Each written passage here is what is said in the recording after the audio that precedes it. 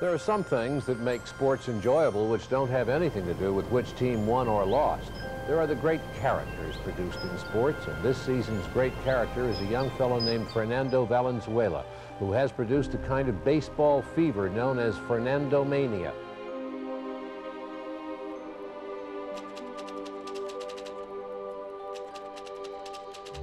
America in 1981 was a place and time when the pages in a folktale turned at the right pace. Faster than the evening paper, slower than a tweet, with space to soak in the wonder in every chapter. It's a fairy tale so preposterous, Dodger fans dare not open their eyes. El Nino is Fernando Valenzuela. Fernandomania was more than one of the best stretches of pitching in baseball history. Did you take it off this? Sold out tonight. Valenzuela's pitching. It was an experience without compare, before or in the four decades since. A singular story that becomes more transcendent each time we tell it. 1981 will be the year of Fernando Valenzuela. The left-hander from Etchohuaquila, Mexico captivated Los Angeles and ultimately the country with his extraordinary pitching, one-of-a-kind windup, and unassuming way. And of course, here today, a lot of folks have come in just to see the Mexican phenom Fernando Valenzuela, and why not? He's the hottest subject in baseball. Fernando Valenzuela won his first eight major league starts, the longest such streak since the end of World War II. Struck him out, it's all over, and Valenzuela did it again. His ERA was .50, an all-time record through that many starts. Perhaps such early season hysteria could only be born in Hollywood. What else can be said but Viva Valenzuela? The phenomenon began by accident, which was part of the charm. All-star left-hander Jerry Reuss was supposed to start the Dodgers' 1981 opener, but strained a calf muscle during batting practice. So Tommy Lasorda summoned the 20-year-old Valenzuela. The result? A shutout victory. Valenzuela delivers. Screwball got him swinging. What a way to start. Fernando Valenzuela in his first big league start pitches a shutout. Valenzuela spun four shutouts before the end of April. No major league pitcher has thrown that many in a season since Felix Hernandez in 2012. And while Fernandomania began in April, the fascination reached its apex in May.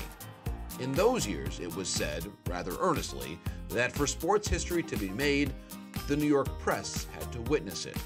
Thus, Valenzuela's May 8th start, a Friday night at Shea Stadium, was a bona fide baseball event. And once again, a large crowd has come out full of the question, is he for real?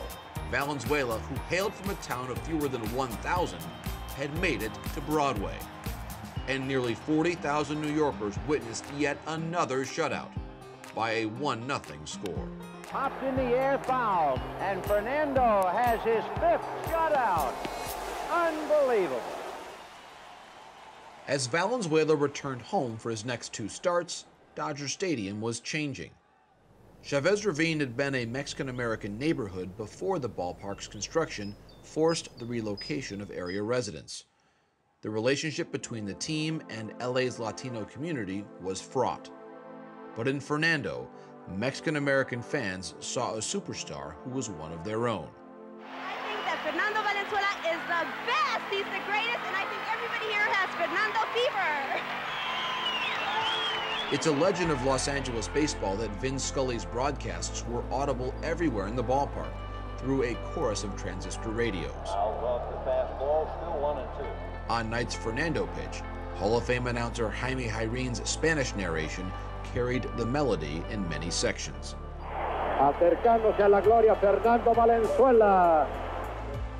The enchanted 81 season began with Valenzuela pitching nine innings in each of his first eight starts and ended with the Dodgers' first World Series title since the heroics of another left-hander in 1965. Valenzuela capped his historic season with the National League Cy Young and Rookie of the Year awards. No other pitcher has earned both honors in the same year before or since. Fernando Valenzuela remains a Dodgers legend, working on Spanish language broadcasts alongside Jarrín. And fittingly, last fall, when the Dodgers clinched their first World Series title in more than three decades, the victory and save were secured by left handed pitchers from Valenzuela's homeland. Dodgers have won it all in 2020! Such is the legacy of a serene sensation in two countries. No current Dodger, not even the Hall of Fame bound Southpaw, can replicate the electric feeling of Fernandomania. It is the most wonderful, rewarding thing I think we've seen in baseball in many, many years.